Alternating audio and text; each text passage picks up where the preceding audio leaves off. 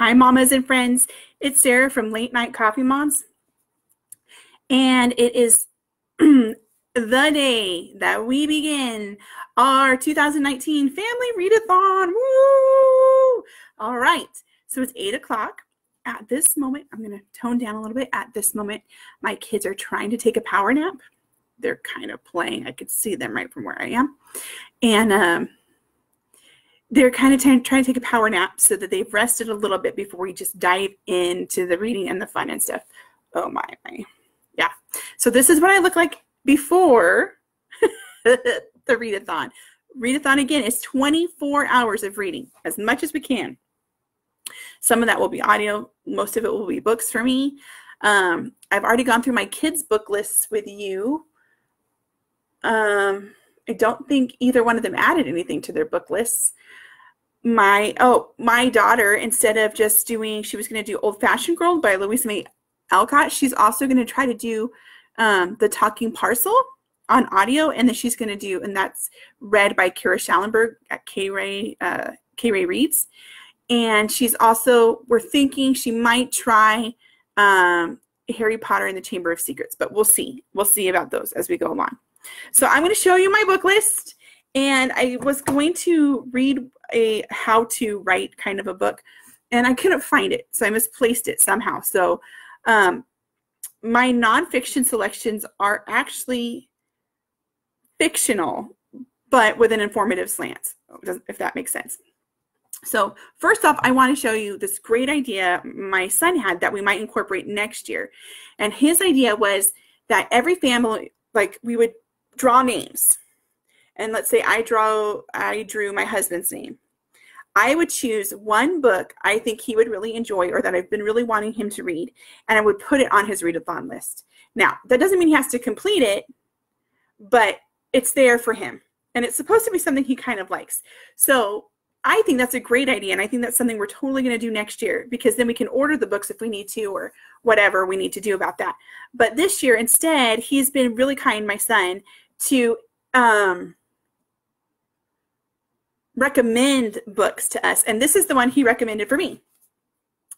S.D. Smith, The Last Archer. We've talked about S.D. Smith before in his Green, The Green Ember, right? Well, this is one of his, his short books, short stories that happen either during one of the books, in between one of the books, or before them, like a prequel. And this, The Last Archer, that happens during the stories, right? And he's just like a side character that you only get like a peek at in one of the books. And I haven't finished this yet. I started it a long time ago and I haven't finished it. So I'm really glad he's given me that one. Plus, I really do need, hey, Jenny, I really do need short stories because I get tired of reading the long ones when you're going at it for 24 hours. All right. So that was his recommendation to me, and I cannot wait to read it. For my daughter, he recommended The Bears of on Hemlock Mountain because it was a book he really liked that he thought she would like. And for my husband, he recommended um, The Pit and the Pendulum by Edgar Allan Poe. So that's that's pretty cool. Okay, so other than those, let me show you the rest of my book list. So because I couldn't find my writing book list, this did make my book list. Okay, you see this book and you see how much I've tagged it, and I've already talked to you about teaching the trivium, all that kind of stuff. My goal for this book is not to read the whole thing my goal for this book is to read the chapter that is regarding high school. Yeah, Edgar Allan Poe is awesome. Um, so that is my goal is to read the one. Let's see where it is. Uh, I think it's chapter 13, which is all about your 13 year olds to your like 16 year olds. And that's my goal for this book. So, no, I am not going to tackle this huge book on my readathon. I enjoy learning and I like to learn, but I really want this to be more fun and more relaxed and not so much pressure. And if you're anything like me as a mom or a homeschool mama in particular, when you read a book like this, you get a little bit of mommy guilt that you have to put aside and deal with. And I really don't want that to ruin my 24 hour readathon. So I'm only going to read chapter 13 of this book. All right. Then next is one of my, uh, it's a short story and it's a fictional book with um, a meaningful slant, and that's Forever Loved. It's Eve's story. And this is a retelling of the story of Eve, you know, Adam and Eve. Yeah. It's a creative retelling of her story, Forever Loved, knowing that God loves you. And it has a whole bunch of cool things in the back.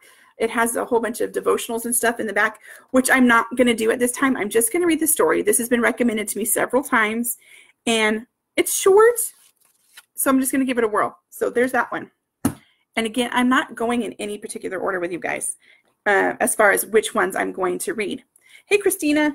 Then another book I'm going to read. This is going to be a reread. Yes, that's totally be doable. It's called Reality, Darkness into Light. Ooh, let me see, by Melanie Kilsby. Melanie Kilsby is a, um, let's see. Let's see, how do I describe her? Let's see if she describes herself. She is a, uh, she is a booktuber. So she's on YouTube, but she gives a lot of book reviews and talks about books a lot. And she is actually the one who whose whose video shows up when on our readathon for last year. She's the one who introduced me to what a readathon is. And this is her book. She wrote this. It's pretty dark as far as um it's it's a fictional book that could be uh legit. So let me just uh read the parental caution. Okay, so it's geared toward young adults, but it deals with mature subject matter uh, like suicide, rape, the occult, and divorce. Okay, if you feel this content is too strong for your child, please read it before giving it to them. It's really it is it is dark, but it has a lot of good messages inside of it. And again, it's a short one that I can fill in in between some of my meatier ones. It's really good. She um she is very easy to read about these really dark and heavy subjects. And she does it through a fictional character who could be somebody you meet today or could have been me in high school or other people I knew. It's a great book. If you really want to check out somebody's book that you probably won't find at a local bookstore, this is one to try. And she, you can get her book on, on Amazon. So Reality, Darkness into Light by Melanie Kilsby. So I'll probably post something about her later. All right, and then I do read a cozy mystery because they're just light, a little bit lighter. And the one I've already started it is called Peaches and Scream. Uh, when murder threatens her family's orchard, Nola May Harper is ready to pick out the killer and preserve her family's farm's reputation. Huh. We'll see. We'll see how it is. Okay, and now, now's the ones I've been waiting for. I'm so excited. Um, this book I started probably right after our readathon last year, but I just never had, hi Eunice, I just never had a moment to sit down and pour into it. And I did not want to miss a single thing. Okay. So it is A Time to Rise by Nadine Brandes. Okay. As far as modern day authors go, she is one of my new favorites. I love her writing, okay? But I've only read this series, okay? So the first one is called A Time to Die. The second one is A Time to Speak. And this one is A Time to Rise. This will end the story. That's why it's so hard for me because I don't want to end it. I love these people and I don't want bad things to happen to them. And I don't want to say goodbye either. So this one is the one I'm most excited to read. So I don't I don't know quite when I'm going to do that. And then I have Fox by Nadine Brandes. And I've never read this one yet. Um, this is her first historical fiction. She's got a new one coming out in May, Romanov. But it's about Guy Fawkes Day and the gun, uh, the gunpowder plot. And it's she takes the whole gunpowder plot and um, takes the history going on at that time and kind of says, well, what if Guy Fawkes had a son?